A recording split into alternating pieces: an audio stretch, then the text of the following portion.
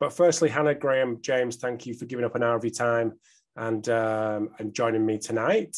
So we're not going to do intros. Everyone knows who you guys are. We're going to so we're going to come to Graeme first. CBD, really interest, really interesting topic. So people have heard a lot about it, and I think a good place for, to start would be just to give us a bit of an intro on on what it is, and then we can we can go from there, and Hannah and James can can dive in as we go. Yeah, well, first of all, thanks for having us tonight. uh, apologies for a cough now and again. I'm just getting over the the dreaded lurgy. Um, yeah, CBD. If you'd asked me about five years ago, I actually couldn't have spelt CBD to you five years ago, Rob. Never mind tell you much about it. And it all started with one of the players within England rugby asked me about CBD and could he, he take it? And at the time, it was a really simple conversation once I'd looked up what it was. So obviously cannabidiol, one of the cannabinoids found within the, the cannabis plant. And it was a simple conversation then because it was prohibited by WADA. You jump forward a few years and WADA, in their wisdom, and you may sense the irony there in my voice, decide to remove CBD from the prohibited list, but leave all other cannabinoids on there, which then creates a little bit of a dilemma because technically an athlete can take CBD, uh, but taking it in a way that isn't going to cause an anti doping violation is a little bit of a problem. If we skip back a step and what actually is it? Well, if we look at the, the, the cannabis plant, and particularly the strain that is grown for hemp, so a strain that has to be grown that has a very low concentration of the major psychotropic cannabinoid THC, so tetrahydrocannabinol, this is the, the one that gets the, the high, then it can be classed as hemp.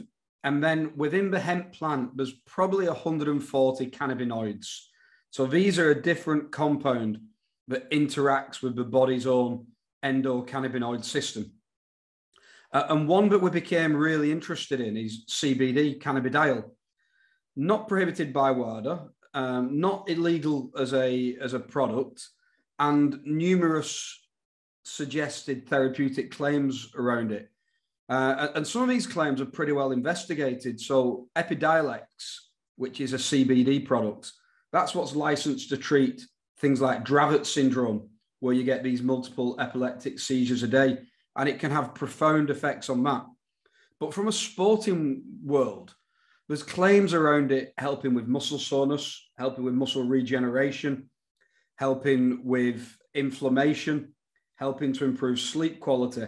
And perhaps most exciting um, is suggestions that it may help reduce the risk of traumatic brain injury. So you can see loads of reasons why an athlete would be interested in it. However, the way that WADA have removed it off the doping list and what they've left on has just created an absolute minefield for athletes. So, where's the best place to go? Where, where can people sift through that minefield to actually get to know what products they can and what products they can't take? Uh, look, if I'm going to be simple at the moment, if you're working with a drug tested athlete, anyone who's under WADA restrictions, just don't do it. It's as simple as that. I must be getting weekly emails at the moment from people involved in high profile sports saying, um, we've had a hair sample taken, an athlete's got a positive. What's is there a, any rationale why it could have come from CBD? We're going to see numerous athletes failing anti-doping tests because of this. Um, w- w- there's already at least two cases uh, from America, uh, one being a snowboarder or a skier, sorry, and the other one uh, a triathlete, where they've got sanctions for CBD related or claims that it's a CBD related um, issue. Now, in America, the UFC and the NBA have both removed cannabis from the testing list at the moment. And until I think all the cannabinoids are removed, I just don't think it's worth the risk. So everyone's aware of THC, the, the psychotropic cannabinoid. And when you see a CBD product, it might say it's THC free. It won't be unless it's a synthetic, but it'll be below a limit of detection. And that's okay, that's fine. But chances are you're not going to fail a doping test on THC. You still might. We don't know if it accumulates, but the chances are you won't. When it says it's THC free, though, it doesn't say it's free of all the other cannabinoids. And bear in mind, WADA have only removed CBD. And when I've tried to ask the question to WADA about are you testing for other cannabinoids, the only answer I get is we could. So they're not saying that they are, but they, technically they could. So they could decide to run a screen for other major psychotropic cannabinoids, which may be in a CBD product in trace amounts, and suddenly an athlete fails um, an anti-doping test. So, so my advice at the moment is, and it's, I'm almost sad to say this because my reading of the literature is that this could actually be quite a promising compound. It could help with muscle soreness. I've got players who tell me it does. It could help with sleep, particularly sleep's anxiety related. Uh, it could help with inflammation. And if it helps with traumatic brain injury, and there is research granted in animal models, but it is there. If it helps with concussion, traumatic brain injury, and we've got a product here that can maybe help stop a neurodegenerative disease, then it, it, it's almost criminal that we're not allowed to look at it. But until WADA change the wording, and all the wording needs to change to is name the cannabinoids that they want prohibited rather than name the one cannabinoid that's allowed. So it's a very subtle switch. So instead of saying all cannabinoids are banned, but you can take CBD, if what they said was um, the cannabinoids which are prohibited are THC and maybe one or two others, well, then we can test for that. We can get an informed sport CBD certificate that's tested for that, and we can use it. But because we don't even know what cannabinoids are found within a plant, how can we even begin to test to know if it's safe for an athlete to take from an anti-doping perspective? It's just too much of a minefield, Rob. So my advice at the moment is until WADA help us out a bit, um, we probably shouldn't go there. I'm keen to get Hannah and James's take on this, but just one one last question, Graeme. Is it just a matter of time before that happens as people put pressure on? I think is, so. Okay. No, I think so. We've seen it. Like I say, the UFC have removed all um, all marijuana based products from testing. So I think their wording is unless you are visibly uh, under the influence walking into the octagon, that's it. You're okay in UFC. In the in basketball in the NBA, this is the second season now where technically it's still prohibited cannabis, but they've stopped testing for it. And they've announced that they're not testing for it anymore. So that's probably the way forward because of pressure from a variety of situations. And I did read that WADA are currently re-looking at the cannabis um, regulations. Now, I don't think, well, we know nothing's changed for this year. Whether it'll change in time for January next year, I doubt it. But I would envisage in the next two or three years, we see WADA even stopping testing for any cannabis related compound. Great. Thanks, mate. Hannah, James, has this come across your desk often in terms of questions from athletes of what they should do, how they can navigate the minefield, as Graeme said? Yeah, I would say I know um, obviously through Graeme and others that work in rugby, it seems to be quite a big topic in rugby, obviously because of being a collision sport and the um, kind of function of it being around pain management. Um, we don't see it so much in football, but it's definitely being spoken about. And again, we're the same. It's just don't take it because the risks are too high at the moment, and it's a bit of a a bit of a minefield. Um, but one product um, on the market is like a it's a it's called PEA. I mean, I won't even start to try and pronounce that either. Um, I think it's by Healthspan Elite, and it's like called Levagen Plus, and it's basically a fatty acid amide that works in a similar way on the endocannabinoid system. Um, that is um, on the Informed Sport program, and it is tested. But again, there's such limited research on it um, yet to say this 100% works and works in the same way as, as CBD. And I'm by no means an expert in the topic, but that's something that we we have tried. Um, obviously, in the world of elite sport with an MDT approach, I can't say, oh, 100% that made the difference to this this player, but it's something we have used and is legal and safe safe to use and is working in a similar way Um, but but yeah, in terms of CBD, no, it's something that we we definitely avoid using at the moment.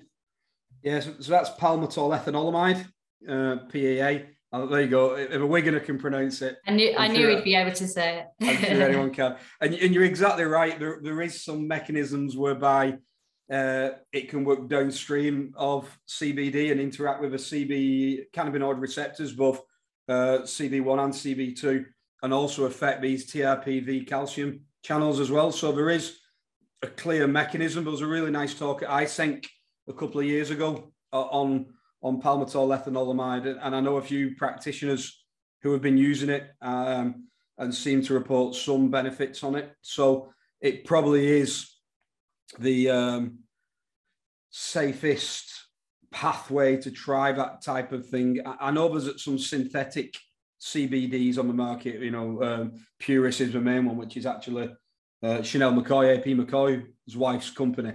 Um, and the idea of a synthetic is it will only have CBD in it. Um, but I, I, still have some reservations around that because there is some suggestions that the body may be able to convert some CBD to THC, and there is also some suggestion that um, it can convert within the bottle if it's not stored particularly well. So there's still some major questions even around that, but I would say that the two safest ones, you're right, palmitoyl ethanolamide uh, or something like a synthetic.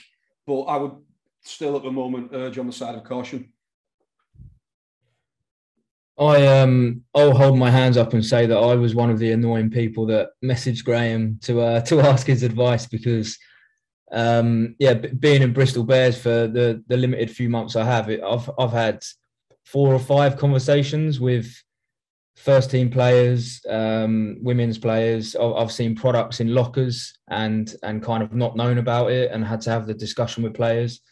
And and look, the reality is on on the ground running as a practitioner, if if I speak to Graeme and Graeme's advice with Graeme's knowledge and the research that he's doing is look, stay away from it at the moment, then that's that's exactly what I'm feeding back into the athlete. And if they want to know the reasons why, then I'll, I'll share some of the figures that Graeme and Andy Kasper have put forward in, in some of their kind of review articles around it. Um, and and the, the question that I will always ask the player really is if we're if we're seeking that product at the moment, then you're almost telling me that you're nailing every other aspect of nutrition that we that we do know can support recovery.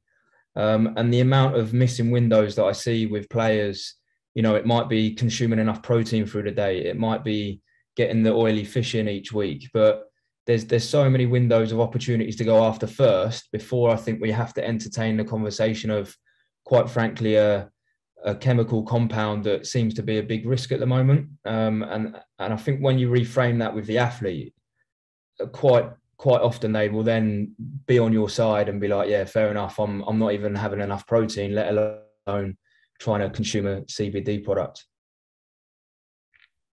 Perfect. Thanks, mate. We'll we'll use that as a bit of a, an endpoint to that to that point. I think that's uh, been nicely covered. Although I probably think we could take the uh, the rest of the hour on that.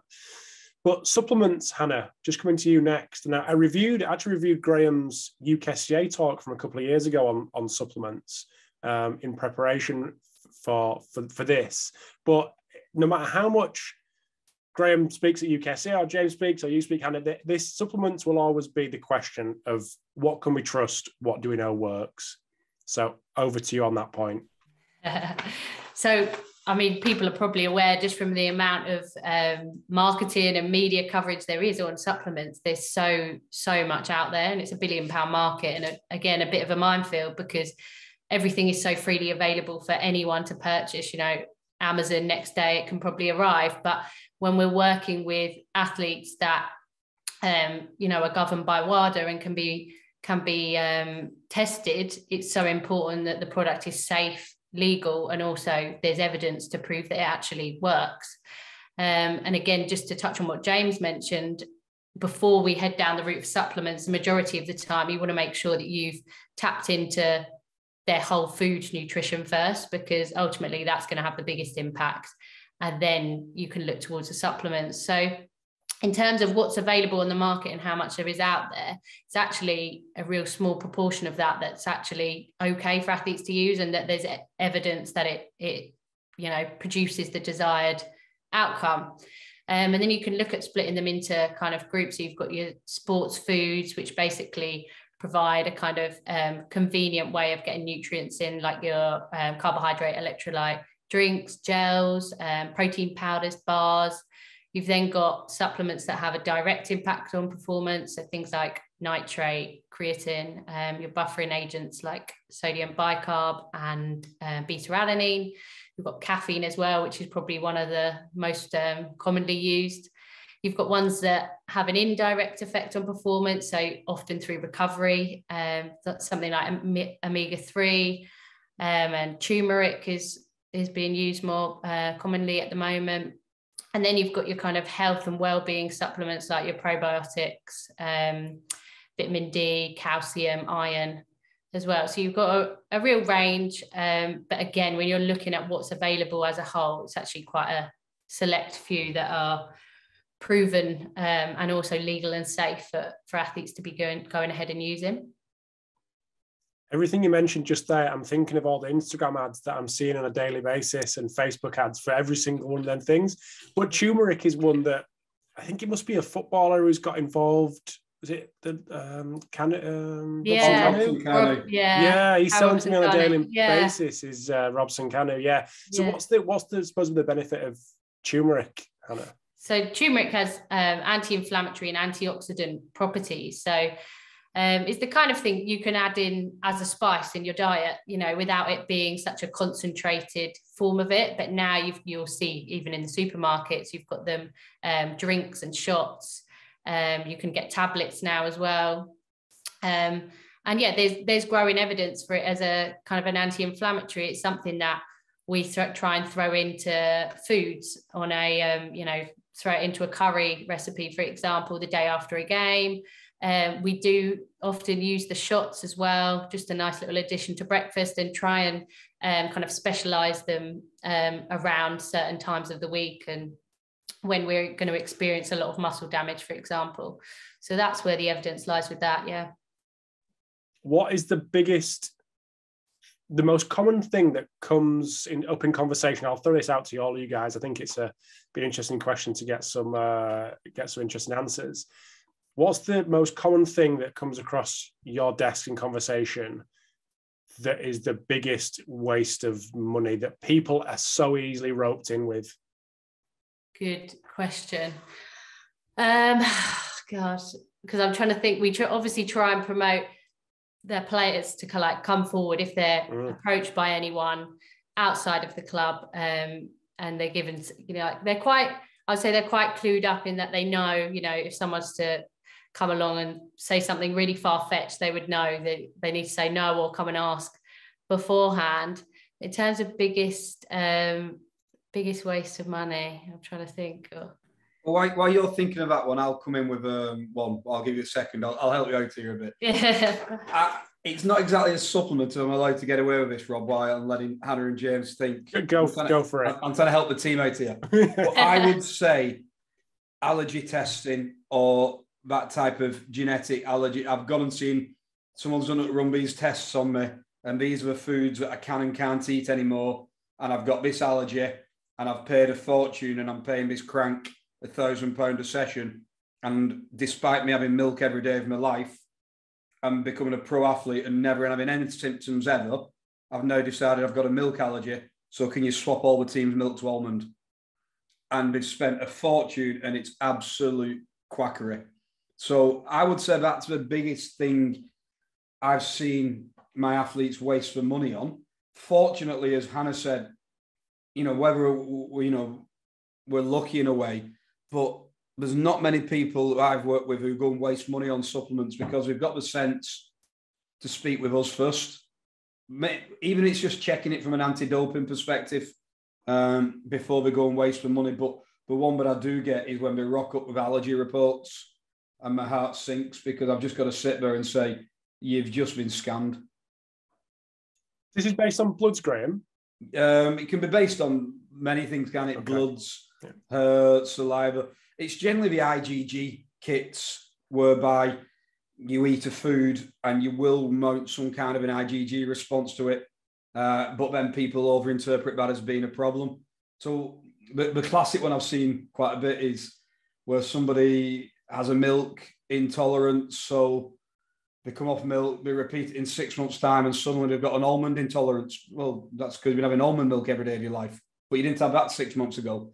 And um, it, you often, it, it, makes me laugh because often the foods that come out are foods that players eating every day. And then it's a hard conversation because they're generally looking for an answer to something like, I can't lose weight, but so I did this test and it, yeah, I've got this allergy to breads and um, and pasta and alcohol and and dairy. So if I cut all that out, I'll lose weight. I'm like, well, yeah, of course you will. You've cutting out a quarter of your calories, but it's an easy sale, isn't it? And I sometimes wish I had no morals because you can make an absolute fortune on these things. Do you know what I mean? And then on the back of it, you can put a whole load of quackery service that goes with it too. But um, yeah, I'm, like I'm yet to be convinced that there's absolutely anything in them. That's not me dismissing allergies, for example.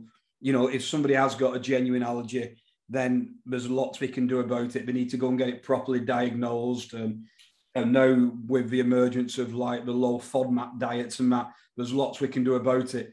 But don't think you can go and do a fingertip blood sample, send it off, and suddenly you know every food in the world that you're allergic to.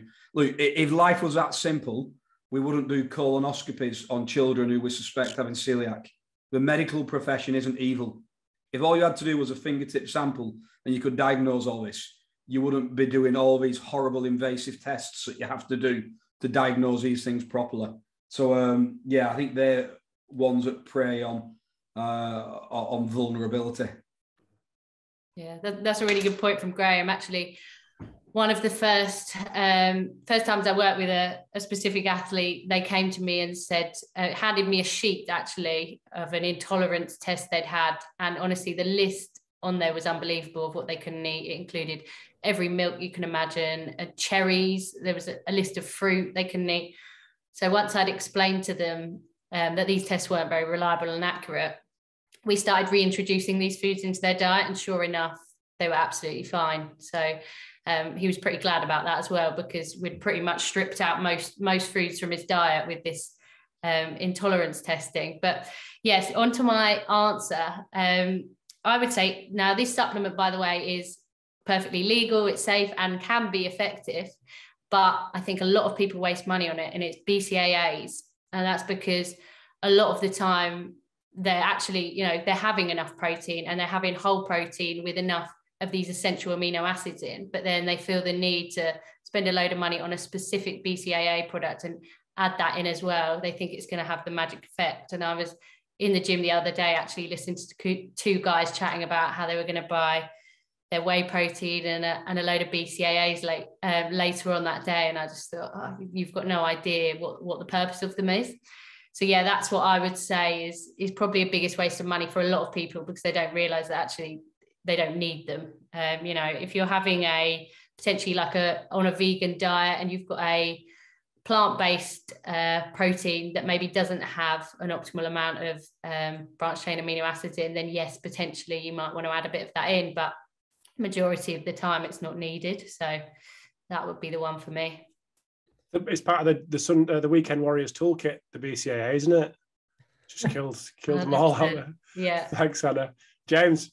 I would um just bolt onto the back of that there and and almost reframe your question. What do what are athletes not spending enough money on? And I think quite often they're they're happy to go and spend a fiver on a flat white and a, a cake at Costa or other franchises that are out there, um, but not willing to go to the local farmers market and get ten quid's worth of fruit and vegetables. And and I think like when I've had the conversations with athletes to say you're quite happy to go out and spend 22 pound on a meal once a week, but then you moan at me when I'm asking you to go and get some frozen berries for some smoothies, for example. And I think just reminding them how cheap food can be sometimes, and and then linking into what Hannah's saying there about you know you, you can consume enough protein through food and and and get the goodness that you need just by going local. Um, so I, a lot of my discussions now are trying to get players to buy food again, rather than just a reliance on powder coming out of a, a supplement tub every day. So, so Rob, if you want me to answer the question why James has avoided it, um, quite nice. I like that. It's very, very political, isn't it? I won't answer your question, but I'll make a different one up. Good work, James. Um, let, let me give you one, and I'm sure no one will disagree here. Let's just put the fat burners in that category. Mm-hmm. You know, so are they still? Are they still? People get, yeah. get sucked in, do they're they? Still, they're still there. They're still oh, sucking wow. people in. You know, as I always say, you'll burn more calories walking to a shop to buy them than what you will do actually taking them. Um, you know, we, we, can throw some other things into that category, but yeah, if there was one thing that I was going to discourage anyone from buying, would be a fat burner. If you really could burn significant amounts of body fat in a tablet, the world wouldn't have an obesity crisis. We'd just take that one tablet and crack on with a day, wouldn't we? So um, yeah, let, there you go. We'll give you one. But there's there's a supplement. I've given you one. Hannah's given you one, and James just makes up his own questions, which is which is fine. is how I want to do it. I'll just piggyback on back on the back of what you said, James. Do you think, and you guys have been around long enough to answer this question, do you think there is a shift towards athletes caring more about where their food comes from? I'm interested in this on a just social scale, but obviously you guys working with athletes, I'm interested to know. So going to the butchers, try to understand, you know, where that meat comes from, the quality of it, etc. Is there actually a shift in a positive way? What I think is a reflection of society as well, hopefully. What's your thoughts, Hannah?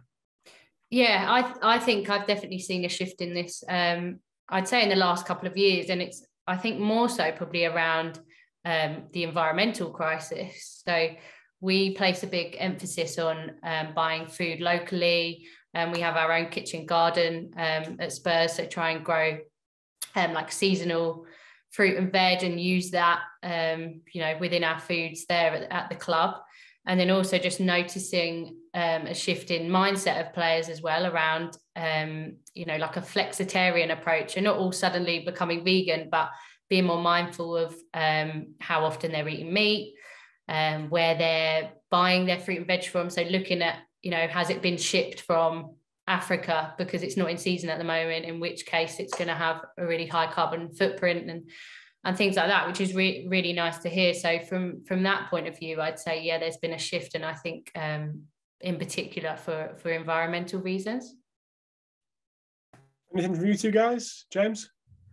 Yeah, I think the the documentaries that we've seen on Netflix as well recently, like you know, we've all been there and watched it. Um, and look, they that sparked some some really good and interesting conversations, um, both at the FA when I was there, but also now at Bristol. And I, I think people are. I think people are aware of it. I, I, think where possible, you know, it's a great idea that Hannah's got there at Spurs with their own garden, and and I think it's important. And we've got players at, at Bristol that have got their own chickens, and I, I, know Rob, that's something that you're passionate about. Absolutely. Um, another half hour to talk about chickens, mate. Don't worry about that.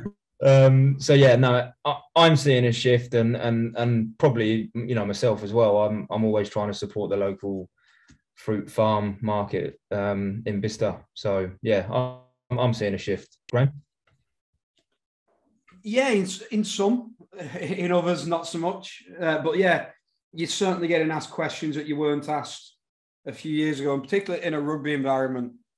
That you know, a, a few years ago, if you took away the pie and chips, you would have got a lot of abuse, and it's gone full circle now. But if you put pie and chips out, you'd probably get a lot of abuse. But how do you expect me to um, perform to my best when that's what you're feeding me? So it really has, you know, has changed a lot. There is, as Hannah said, a big awareness of environmental issues. You know, trying to reduce plastic waste where we can, uh, trying to reduce food waste. You know, there's a lot of players, particularly because we do a lot of buffet eating. And that question comes to me a lot about, you know, how can we minimize with food waste? Got people genuinely care. Um, and then, you know, yes, I think we only need to see some players' social media and thinking of players who both me and James work with, doing a lot of work promoting local farm shops and you know about the importance of of buying good quality vegetables local. So yeah, huge change um, and and for the better. Yeah. James mentioned the, the Netflix documentaries, and I'm sure there was a well, no, there was an influx of players at your door when that I can't remember what the, the name of the uh, veganism documentary was. What the health or game changers? yeah, get, uh, game changers. Yeah, yeah, yeah. Game Has that, do you think that was a positive thing? It may may have caused a little bit of controversy at the time, but do you think that was a positive thing that's kind of run? And it's a couple of years ago now, but it's still having effects in a positive sense to make people question what they're actually eating. To an extent, yes. I think anything where there's so much um, misinformation, I, I, want to be careful how, how positive I say that it is. But you're right in as much as I think it really got people thinking about what we eat a lot more uh, and what the, the power you can get from from food. And you know, I've said for many years that I think all athletes should be plant based. I just don't think they should be plant exclusive unless they want to. And if somebody wants to do it for moral and ethical reasons, 100% they're called brilliant. I'll support you and I'll help you the best I can. Um, but I do think athletes should be plant based. And, and I'm not sure many nutritionists, dietitians would disagree with me. And what I mean by that is a, a massive portion of every plate should be vegetables, carbohydrates, rice, you know, foods like that. And then on top of that, a good portion of lean protein. You know, you know, so if we can get plant-based with a nice piece of salmon, cod, chicken, some eggs or whatever, then great. And I think one thing that it did do was really push to the athletes the importance of plant-based foods. You know, it really did emphasize, as we know, the importance of carbohydrates for high intensity exercise, which has been hijacked a bit over the last few years with some of the like um, keto style approach to uh, to performance. So I think it was good that it readdressed that balance. But you've kind of got two big myths. You've got the keto and the what the health or whatever it was called, game changers. And somewhere in the middle of them two is probably the, the, the degree of common sense that we need to get to. How many of the new vegans that came off the back of game changers have actually, I mean, you guys may not be working at the same place, the same athletes have actually followed through and carried on with that? Many? Zero. Zero. Zero. I've had a mm. couple try it, but none have stuck it out. Um, but what they have done, I mean, quite a few, is if we put a, a plant based dish on, so we put a vegan dish of a day on at a, an elite team that I work with, it's surprising how many non plant based athletes will try it and enjoy it. And I think what it's done is it's destigmatized that you're not a freak if you don't want to eat meat, which is how it used to be, wasn't it? It was almost like you had to say it under your breath, I'm a vegan, you know, and it almost a little bit. And I think it, it's been very good for that. And, you know, I, I'm as convinced that with the right support and with one or two things added to the diet, that you can, you know, be a, a pro athlete eating that way. I've, I've got no uh, qualms about it. Uh, uh, and what it has done, I think, is really, as you said, encouraged a realization about all the good stuff you can get in plants. Taking us on to our next point, and obviously Graeme's got a little bit of experience in this as well, but nutrition t- tweaks for collision sport athletes. I'm going to fire that over to, to James, if that's all right. Maybe pull it in some of the stuff we've already spoken about. Yeah, so I think we've we've covered a fair fair chunk of it already, but so, some of the the the big work ons that I've done initially at you know Bristol that where I work now is is just getting them to understand the importance of regular protein intake and and also and I don't I don't want to teach people to suck suck eggs on the call, but making sure that they're hitting their total daily amount at regular time points throughout the day. And it, it's amazing. Certainly, I'm, I'm seeing in a female athlete how many struggle to eat in the mornings or or they're rushing because they have to go to work and and before you know it they've they've had their kind of overnight sleep they've had minimal protein in the morning they've then had a full day at work and then they're presenting at training at four or five o'clock in the afternoon and they might have had a protein bar throughout the day um, and then it, you know if that's an individual that's that's genuinely trying to gain a little bit of lean mass we've we've probably got a problem there because the total daily amount of protein is going to be nowhere near to where it needs to be. So one of my first conversations with them is is asking them about what protein looks like in their day and and and at time points.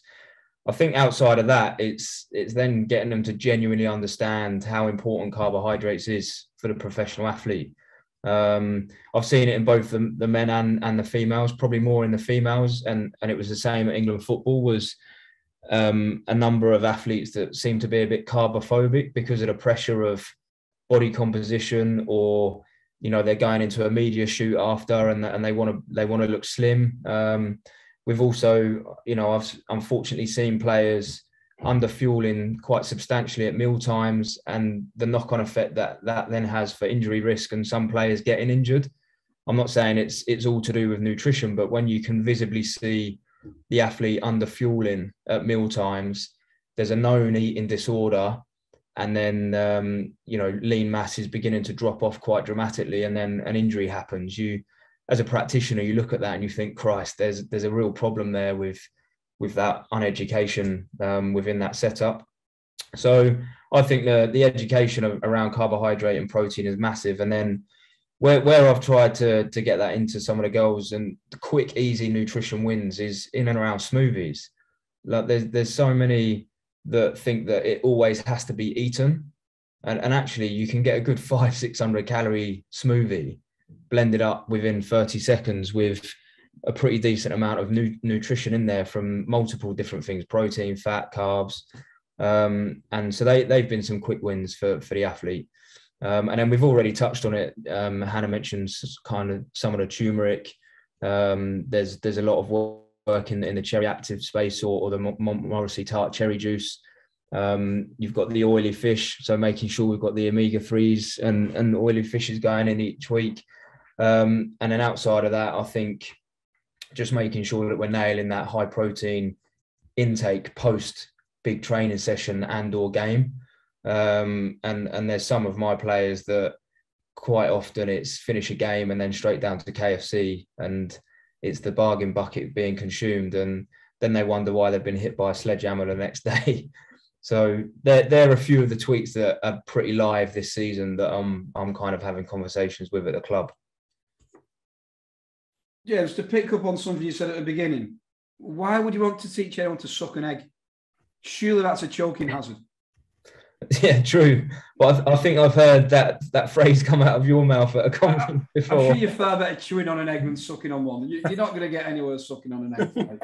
just, sorry, I just had to make that point. Um, the other thing I would add to what James has said there is, you know, we spend a lot of time looking at the minute detail, but then often, you know, miss the bigger picture, don't we?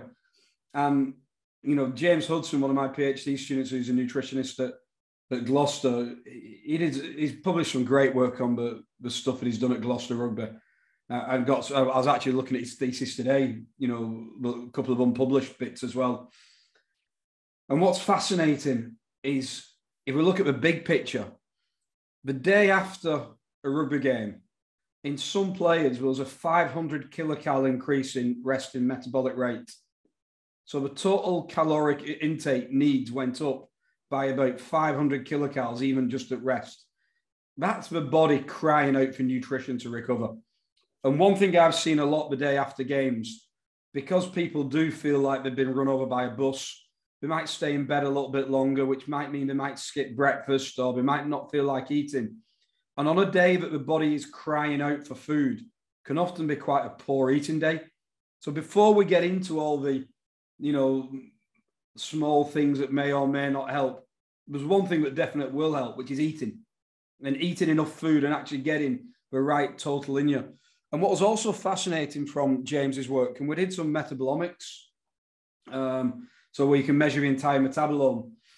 Uh, and contrary to our hypothesis, what we were seeing in the days after a game was yes, there was an increase in protein catabolism, but it appeared that that was to provide substrates for gluconeogenesis. So the body's crying out for carbohydrate in these days after a game, and he's generating it by breaking down muscle tissue.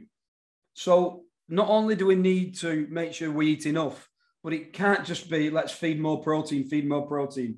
Rugby guys are pretty good at eating protein. In fact, I, find most athletes are. You know, if you put a buffet out, the first thing that goes is the steak and the chicken. The last thing that goes is a green veg with the pasta in between. So I don't think we need to have that big emphasis on protein the day after a game, but I do think we do need it on calories uh, and on uh, on carbohydrate as well. Uh, I've just noticed, I don't know, Rob, there's a couple of questions popping up in the online chat. I don't know if we want to deal with them yeah, now or at the end. Yeah, we'll we'll dive in at the end. We'll leave five or ten minutes to tackle them. Okay. Just on what Graeme said, I, I would echo that. Not just um, obviously these guys are working in rugby, but in other sports as well. I see it all the time. Day after a game, it's often a recovery a recovery day. We don't do much, or you're off. Um, and you'll notice even when players are in at the club, you're constantly emphasizing, especially with that starting 11, um, you know, come in for a good breakfast. And we, we often change up what's on offer to really encourage them to choose the right foods. We might put put out, you know, the higher carbohydrate options like bagels, whereas they might not be out every day of the week, things like that. Um, lots of antioxidant foods. But it's just, you know, they one, the creature creatures of habit and they choose the same breakfast that they had every day, regardless of the fact they've just played, you know, 90 minutes plus, um, and have got a lot of muscle damage going on there. Like Graeme said, you know, he's doing the research and finding that their energy, their resting metabolic rate that day is is massively higher than than other days. So it's essential that they're eating. And then or we find that they feel like they haven't done much because it's a recovery day. So oh, I don't need to eat as much today. Um, or I'm tired, I'm just going to go home and rest. And they skip this massive windows of like snacking in the afternoon. So it could be a day where they just have three meals. And actually, it's a day where, you know, it's almost more important than match day minus one. Otherwise, you're not going to be able to play again. Um, you're not in your best state, you know, in three days' time. So I'd agree. It's it's something that we really, really focus on, but it's, it's a challenge for sure. Rob, just to, just to put it in perspective, and I remember presenting this. Um, I can't remember where it was now, maybe ECSS, but the the average rugby player is about ninety to ninety five kilo, and a, a commercial fridge in someone's kitchen is roughly the same weight. So you've got one fridge running at two tacklers, so you've got about three hundred kilo ish of collision happening multiple time points in a game. And when, when you frame it up like that, it's no wonder that these guys are sore and damaged after a game because that's some serious power and force going into contact. And I think sometimes a rugby player forgets what they've just done the night before. Um, and and you know, kind of supporting what Graeme's point is there about if they're if they're laying in and missing that breakfast, then quite often they'll go out for a brunch or lunch, but they've they've almost missed the window of opportunity early on to get that energy in and to eat. Um, and so, yeah, it's it's so important to fuel the, damage and fuel for the repair. Um, otherwise, you know, they, they will be struggling and, and bringing it in into the next day as well. Is there any guidelines that you would recommend based on some of the stuff that you've just presented there, Graeme and, and James, uh, in terms of uh, grams per kilo body weight, anything like that, that people could give people a bit of a an idea of in terms of carbs and protein as a recommendation ballpark? Yeah, I mean protein. I think is almost pretty simple, really. Um, if we get north of 1.6 and closer to two grams per kilogram body mass of protein, I think whatever sport we're working in, we're going to be pretty, pretty good, really. And the work from Stu Phillips and people like that is suggesting about 0.4 grams per kg per meal. So if we're going to feed a rugby player five times a day on 0.4 grams per kg, we're going to get up to two grams per kilogram. You know, about 200 grams of protein for a 100 kilo athlete. You know, four of them might be food and one or two could be shakes, snacks, or something like that. Uh, then when it comes to carbohydrate, I don't think we're as definitive yet on, on, a, on a precise number. Uh, I tend to work between three and six grams per kilogram of rugby players um, three being at the lower end, six being like the day before a game, and probably somewhere in between the day after a game. Uh, I don't go anywhere near as high as the 10 grams per kg that you see in textbooks. And, and that's all because I mainly work in rugby. And if we take a 100 kilo player and you put, put them on 10 grams per kilogram, you're now asking them to eat a kilogram of carbohydrate in a day. Uh, and good luck trying to eat a kilogram of carbohydrates uh, in, in the day. You know, it's um, what's that? It's equivalent of what twenty large jacket potatoes. You know, it, it's a serious amount. And what we've got to remember is a lot of a gram per kilogram work on carbohydrate. When you look at the literature, there's two things that people forget. One, it was mainly done in 55 to 60 kilogram runners, um, which is very different to 100 kilo rugby players. And two, it's generally done when you've depleted glycogen and then you want to have a maximum muscle glycogen resynthesis. And it's very unusual in, in our hands to see full glycogen depletion. When we did the muscle biopsies uh, that James was involved in years ago at Widnes Vikings, you know, it was about 40% um, depletion of muscle glycogen during a game. So that's even after a game. So in some players, it was a bit more, which would begin to affect performance. But we're never down at zero, which is what a lot of the original carbohydrate research was based upon when you actually did a glycogen depletion protocol and then worked out how much to feed them to get maximum rates back. So yeah, I, I work between three and six. One thing I would say um, on that, Rob, is if, if a player doesn't want to eat after a game and it's it's an eight o'clock kickoff, they they might finish at ten. Uh, you know, there are some players that just really struggle to eat at that time of the day because they've just finished the game. It's it's now evening time, adrenaline. They might be sore. They're they're caffeined. You know, they've got a load of caffeine floating around. They might have to do a, a drug test. So there, there are players that really struggle to eat, and and that's I guess a window that would be important to not go to bed having not had anything because then you are waking up having an eight, 10 hour sleep without any nutrition at all. And I think, uh, Graeme, I don't know whether you want to share that we've just put that piece together, um, but we would definitely encourage them to eat after a game and, and um, rather than not having anything at all. Any strategies that you'd undertake to actually make sure that happens for those that struggle? Well, uh, we we had an example. So um, due due to COVID restrictions, so granted, but but one of the things that was on offer was a was a pizza post game, and it wasn't. It, it didn't look the greatest, and it wasn't the most sexy looking. And I, my first game, you know, about half of them went, but they weren't being eaten in the changing room. So I spoke to the players and said, "Why are you not eating it now?" And they said, "Oh no, I'll take it home for the family."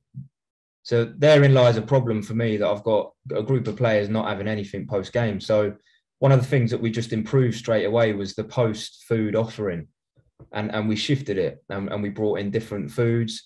We brought in a, a little bit of steaks, you know, chicken, smoothies, fruit, a um, little bit of dessert here and there. But the important thing was to just get them eating food actually instead of not having anything at all. And you know, we had players after that that were coming in on recovery day feel you know i'm feeling a bit better now you know that that does make a difference and so um, I, I, think improvement of provision of food is is something that can be massive and this is a work in progress for me now every single week trying to tweak and refine to make it better and better and better because it, it always has to develop and change based on what some of the emerging research is. Yeah i would say um we experience similar similar issues, and we're probably all in um, jobs at the moment where we have the luxury of you know we have a budget in that we can provide post match food for players, um, whether that's rugby or football or whatever. But um, in the in the same kind of way, you've got to make it really attractive to them and work out what it is that they're actually wanting at that time because we have um, athletes that yeah really suffer with appetite after or they're in a rush and you know it's a late it's a late evening kickoff and they just want to get away so we find that like finger food really works um, and also having a selection of sweet and savory because you get some that absolutely don't want to go near sweet stuff after they've spent half the game um, you know chugging down Lucozades and gels and stuff um, so it's things like in like takeaway pots. We have like a Singapore chicken noodles option, homemade chicken nuggets, um, banana loaf that's in like you know all sliced up, easy for them to take. Fruit skewers, things that like they can stand around picking at that are really easy to take. And then also if you've got someone that's really struggling with with appetite, they might have a bespoke smoothie. So whether you add you know berries into that banana, you might have to add a bit of extra um, you know, protein, carb, powder to make sure they're getting their requirements in there, but and make it milk based as well. Things like that. It's just, you know, working out what kind of trying to cover all bases really and trying to, I would say home games are, are worse. I've definitely spoken about this before, but home games are almost worse because they've got their cars and they're at home. We're not confined to a coach or a plane or um, so you haven't got them all captured there. So that we find that that's more challenging um, as well. But yeah, that, like James said, and just keeping it varied and trying to keep changing it up as well. Perfect. Thanks, Hannah. And st- sticking with you for now for the next five or so minutes before we just tackle them, them two questions that came in. Based on what we just said, how what changes when it comes to youth athlete and what principles would you encourage people stick by when working with youth athletes and considering nutrition? First and foremost, I would say when working with youth athletes, I think your priority shifts to being, you know, nutrition for growth and maturation first. You need to support that. And then performance is secondary because if you don't support the growth and maturation, then ultimately long-term performance is going to suffer. You know, if if bone mineral density doesn't reach reach its peak, then you know further down the line you might get issues with bone health and fractures and if athletes aren't fueling properly, they're probably going to get regular illnesses, things like that. So I think that's really important to highlight first. And then another point I'd say is involving the parents and guardians because ultimately they they're the ones that probably buy the food and and prepare it as well. So anyone working with youth athletes um, from a nutrition point of view, I think education is just absolutely massive and getting the parents and guardians involved as well. Um, and then kind of onto the fundamentals, I'd say you're looking at trying to encourage them to achieve their daily energy requirements, but through whole foods. Um, Marcus Hannon has done some great research on um, academy footballers, but just showing what a minefield this can be and, and what a challenge it must be for parents because you've got, you know, players and athletes in the same age group doing the same training, but their daily energy expenditure is vastly different because someone's growing at a different rate to someone else. Someone might be doing um, you know, something different at lunchtime at school, you know, running around the playground. Another one might not be doing that. So it's really challenging to kind of set guidelines there. And it'd be great to see some more research in that area. So, because a lot of the time, guidelines are extrapolated from your adult athlete population. Um, but yeah, ultimately, trying to encourage the young athletes to achieve their energy requirements um, through whole foods and focusing on like probably five to six feeds a day those snacks are really important. So getting really good pr- regular protein sources in there. Dairy is a great one because you're going to get a good um, calcium source in there, which is great for bone health. Um, so like yogurt pots um, with fruit, for example, as a snack, and then trying to get some carbohydrate within those feeds as well. Um, we know that in young athletes, they're they're better at using fat as a fuel. So they're quite efficient. So again, making sure they've got the uh, range of good fats in the diet, like your salmon, nuts, cooking with olive oil when you can, um, and then obviously um, your your protein sources. And if you can get some of that from your dairy, then great because they get a hit of calcium. So with the young athletes, I would say obviously we advise staying away from supplements, especially when they're when they're under 18.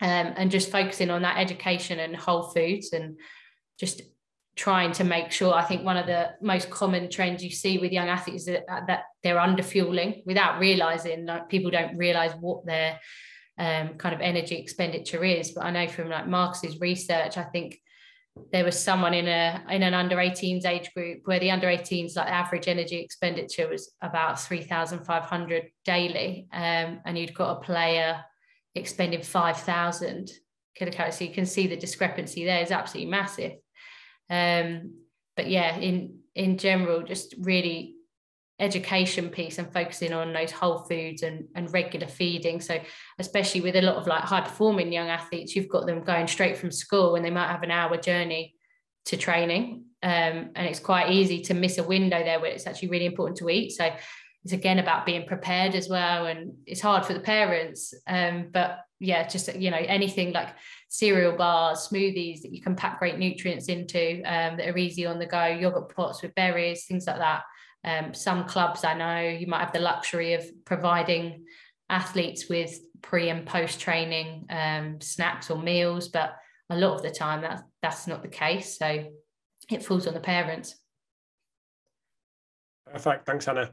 We've only got a couple minutes left. Graeme, James, any key principles maybe that Hannah didn't mention or things that have worked for you when it comes to youth athletes? James? Um, we had a really tough um, gig at, at the FA. We had two nutritionists and 15 national teams. And and one thing that we found really effective with the younger age athletes, so the under 15, 16, 17s at England, was to, to give them some case study examples of what their role models were doing. So quite often we would share, you know, and sometimes it might be a bit of a white lie, but you know, th- this is what Harry Kane is doing. This is what Sterling is eating, and and just to show them, you know, look, this is what the senior lads are doing, and this is how their nutrition strategy looks. Because quite often at that age, it was all about looking up at role models and who did they want to try and emulate within the national setup. So so that's something that's worked quite well previously. Is is trying to find what that young player's carrot is that they're going to hook onto and then just run full steam ahead with it. And, and quite often that role models is one that you can go down. Perfect. Thanks, mate. Right. We've got a couple of minutes for those questions. I'm going to go to Joanna's question first and come to Graeme because you mentioned a little bit about this. So the question was what blood checks would you recommend athletes to do regular, if any? Hey, Joanna. Uh, good to see you on here. Um, yeah, it's something I don't think we do enough in pro sport. Um, it's something I'm trying to get done a little bit more. Probably not a lot. From nutritionally, I'd, I'd quite to see us doing a, um, a bit more iron profiling. And by iron profiling, talking about ferritin, hemoglobin, and transferrin saturation. You know, some great work from Peter Peeling, uh, showing how we can begin to diagnose different stages of iron deficiency rather than just do what we normally do, which is wait for hemoglobin to drop. And then by that stage, we, have got some problems going on. So we, we know that I think he, I think Pete's figure is around about 10 to 15 percent of males and higher in females will be iron deficient, but we don't measure it. So you know we do all this endurance training, but if you've got a genuine iron deficiency, then we're not maximising our chances to adapt to it. So I think that's one. Um, of course, I'm going to say vitamin D because of all the work I've done on vitamin D over the years. Um, I do think we've got a problem with vitamin D, though, in as much as we need to measure more than just 25 OHD. You know, I'd, I'd like to see other markers uh, and really begin to understand the vitamin D problem. You know, all I ever really see in the literature is another study showing that more athletes are low in 25 OHD. We, we need to be better than that. Um, and then I'm becoming a little bit more interested in some of B vitamins as well. And there is a suggestion that even something like B12 whilst within an, a, an adequate range for the general population, there seems to be an optimal range for hemoglobin formation in athletes. So we need to measure these, but also come up with our own uh, reference values rather than just going on clinical ranges. So I think there's a lot more that can be done in that space, and I, and I'll leave it there because I've, you know, I know you've got a few questions and I've hogged a bit of that one. It's fine, mate. Thank you, uh, Hannah the next one, oh, sorry, the first one maybe for you based on the BCAAs. I think it was you that mentioned it. Does it make sense between, I'll just read this out. Do BCAAs make sense between two sessions uh, when there's only a short break between, for example, a football player when they might do some weight training before they go on the pitch? Oh, unmute yourself, Hannah. Oh, we got to 59 minutes. I, know, I, knew, I thought it was going to be me. Schoolboy error. Don't worry, carry on, um, carry on. Yes, now in terms of that, I would say, yes, obviously, if you've got a short window in between sessions, it's not ideal and convenient to be eating a snack or a meal. But um, if you've got the opportunity to have BCAAs, I would just go for a whey protein um, and like a complete complete protein that contains all your amino acids and make sure it's got an optimal dose of BCAAs in. So yes, you might if you if you've only got BCAAs laying around at home, then fine. But yeah, I would go for a whole pro, a complete protein, so just a whey protein option. Yeah. Yeah, Kev Tipton, bless him, uh, in 2017. I think Sarah Jackman was a lead author. Was it Frontiers Physiology?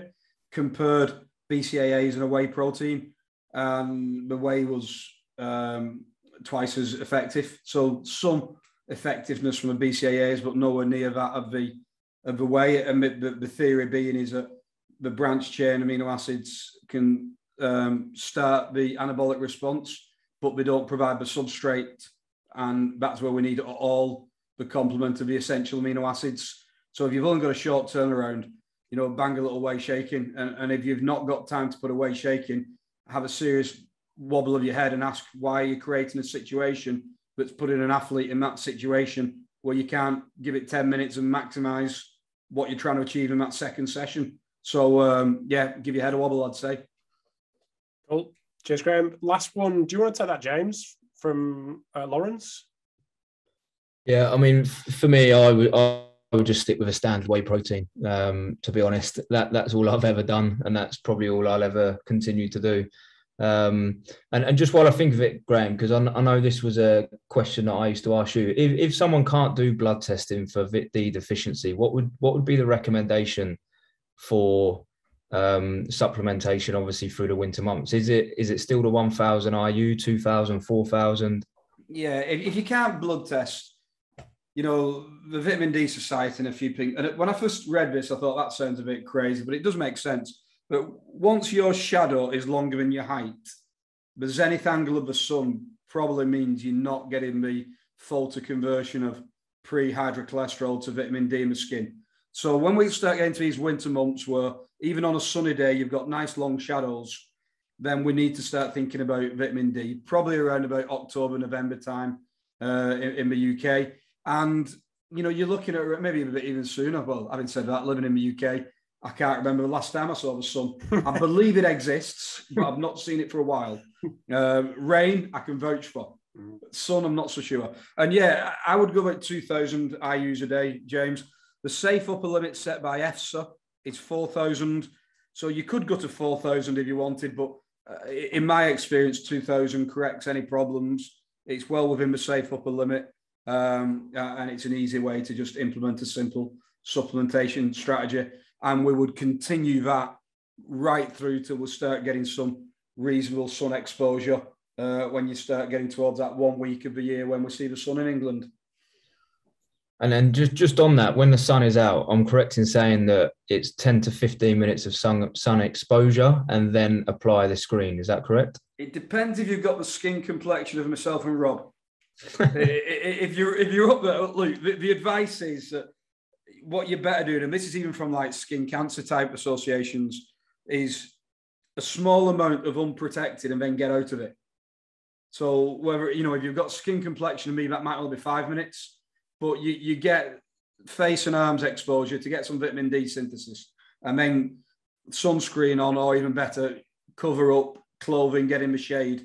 You know, from a health perspective, lying in the sun all day, even with your factor whatever on, it isn't the best way forward. So yeah, you're exactly right. With the big caveat of do not burn. Don't let you know anyone think that it's a good idea to get your vitamin D by going having 15 minutes and you've got the skin complexion that burns and you've done yourself some damage. So a short period of time, maybe up to maximum 15 minutes. Do not burn. Yeah, best way to get vitamin D on that vitamin D, we've been talking a lot about athletes, and we're push for time anyway. But for, for coaches and practitioners that are actually physios inside all day, that 2000 IUs, Graeme, could be pushed, should be pushed. Yeah, and, and it's something we've thought about a lot within England rugby recently about trying to support the staff that support the players. So when we put in wellness packs together and things like that, um, trying to support the staff as well as the players. And exactly right. You know, last thing you want is um, people getting run down, ill, URTIs, and then spreading that throughout the team. Not only can it spread to the players, but your, your coaching might not be as effective. So, yeah, without doubt, that's not just for players. You know, that is society, really. Um, we, we know we can't get enough vitamin D if you're living at northerly latitudes. So, and, and it's not given as much attention as it probably should do because to get enough vitamin D to last you for seven or eight months of the year that you need will probably cost you 20 quid. It's such a cheap supplement. So uh, it's not really marketed because no one makes any profit on it. So, um, yeah, I, would advise all people to be considering a vitamin D supplement in the winter months. So, would you push that towards the 4,000, which is the top end that you said?